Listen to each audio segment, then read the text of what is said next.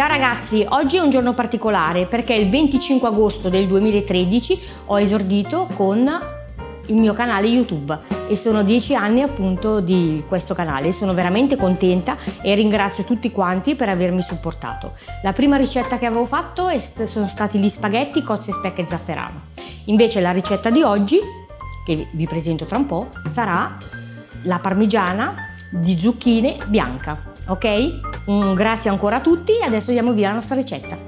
Per la mia parmigiana bianca di zucchine occorrono 150 g di speck, 150 g di formaggio Emmental tagliato a fette, poi servono 6-7 zucchine piccole o 4-5 più grosse, del sale, del, dell'olio extravergine d'oliva e poi occorre 100 g di grana.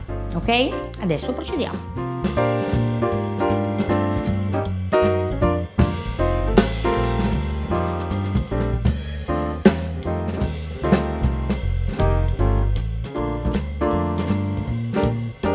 Ho tagliato le zucchine con la mandolina molto sottile. Adesso prendo un po' di olio extravergine e lo metto nella base. Poi rivesto tutta la teglia con le zucchine, devono essere belle unite, così.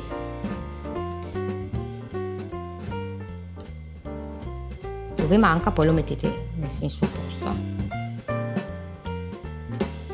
Proprio come fare una lasagna.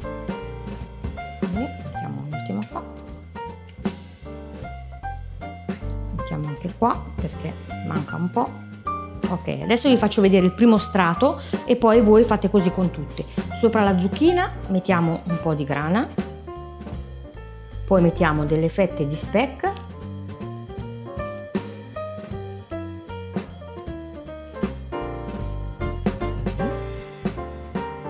e poi mettiamo il formaggio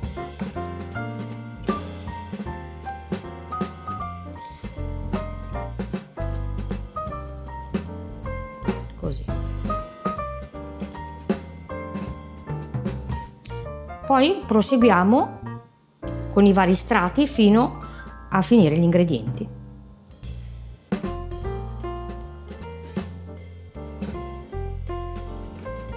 Ho finito gli strati e l'ultimo l'ho fatto solo di formaggio senza speck, quindi zucchine, formaggio e grana.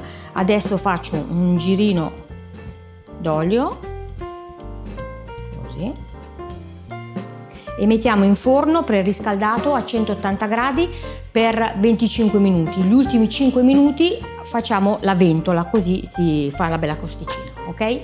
A dopo. Eccola qua, la mia parmigiana di zucchine è pronta. È bella croccante sopra e morbida dentro. Mi raccomando una cosa importante, le zucchine devono essere tagliate sottili sottili sottili con la mandolina perché si mettono a crudo, se no rimarrebbero troppo crude. Ok? E spero che questa ricetta vi sia piaciuta, mettete un like, iscrivetevi al canale e azionate la campanella. Per ultima cosa voglio ancora ringraziare tutti per questi 10 anni insieme. Ciao alla prossima!